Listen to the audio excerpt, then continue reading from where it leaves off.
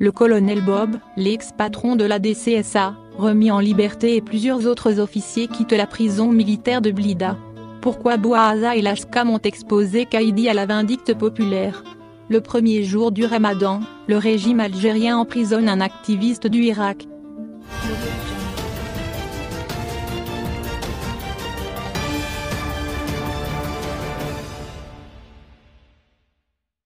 Le colonel Bob, l'ex-patron de la DCSA, remis en liberté et plusieurs autres officiers quittent la prison militaire de Blida.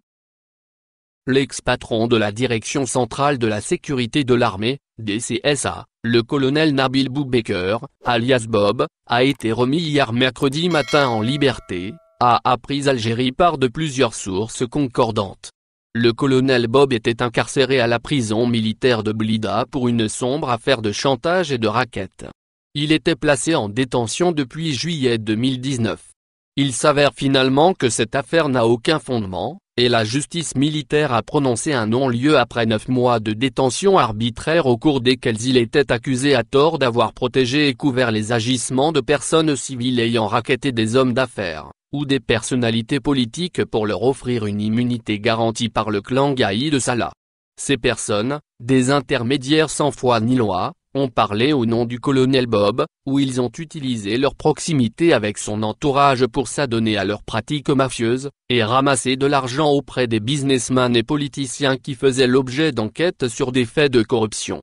Ce dossier a été finalement préfabriqué pour casser la carrière d'un jeune colonel de 51 ans, qui était chargé au niveau de la DCSA de mener les enquêtes approfondies sur des officiers supérieurs et des généraux puissants de l'état-major de la NEP, ou des chefs de corps sécuritaires comme l'ex-patron de la gendarmerie nationale, le général Gali Belkessir.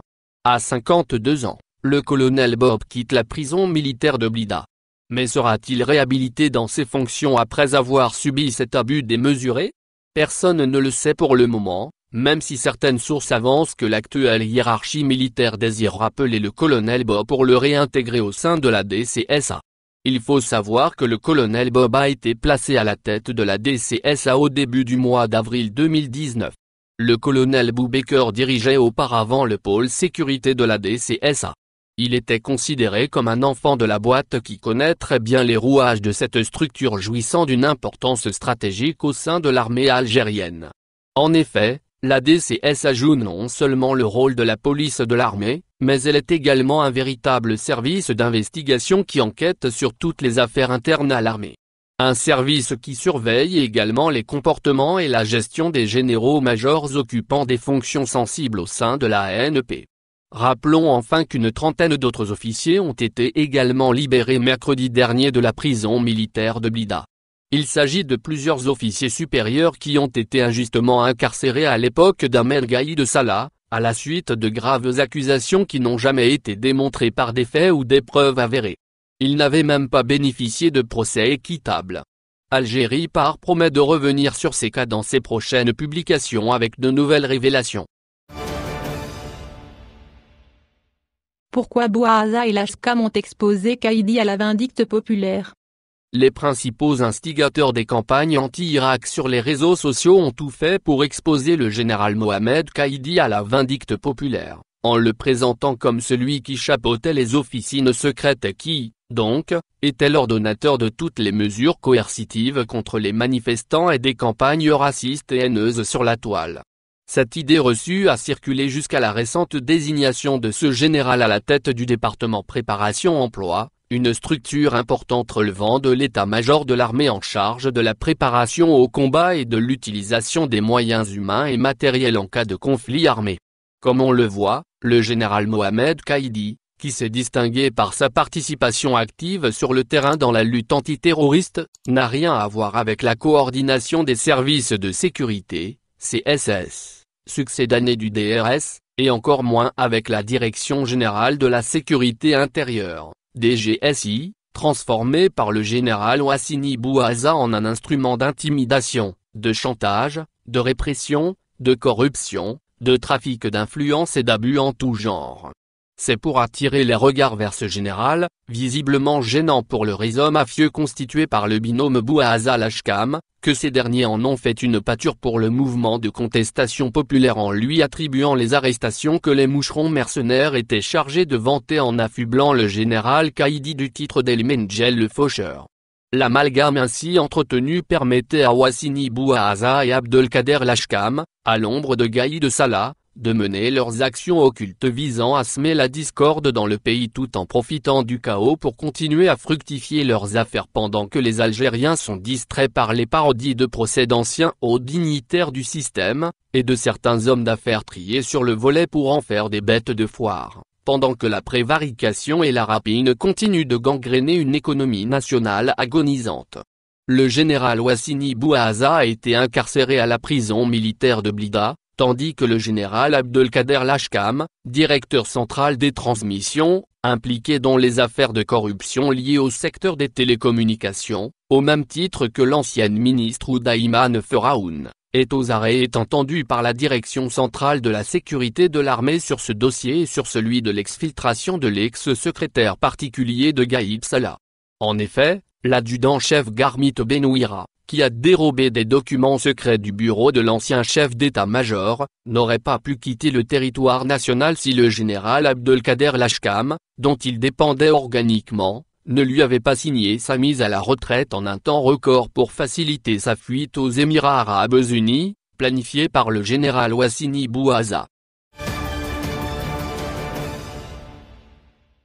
Le premier jour du ramadan, le régime algérien emprisonne un activiste du Irak, de la prison encore et toujours à l'encontre des activistes du Irak. Le premier jour du ramadan, hier vendredi, la justice algérienne a placé en détention un activiste et militant du Irak et El Bayad. Il s'agit de l'activiste et membre du bureau de la Ligue algérienne pour la défense des droits de l'homme, et la DDH, d'El Bayad, Mohamed Lagari. Selon le Comité national de libération des détenus d'opinion, CNLD, un collectif de juristes qui défend les droits des militants du Irak harcelés par la justice algérienne. Mohamed Lagari a été arrêté par les services de sécurité jeudi dernier en compagnie de Belkir Mohamed Boukerch, président d'un comité de quartier à El Bayad. Les deux citoyens ont été présentés devant le procureur du tribunal d'El Bayad vendredi, à savoir le premier jour du mois sacré du Ramadan.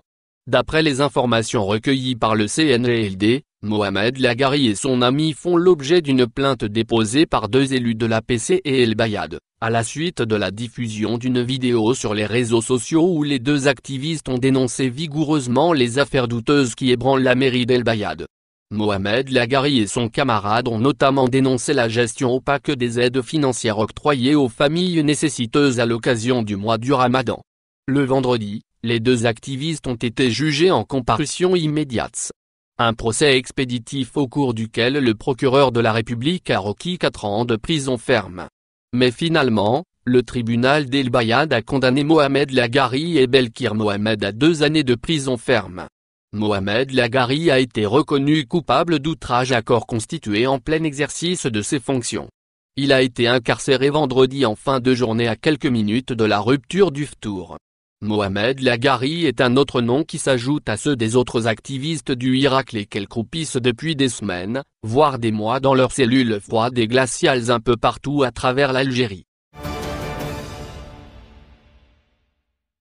Un cadre de Sonatrach devant la justice libanaise.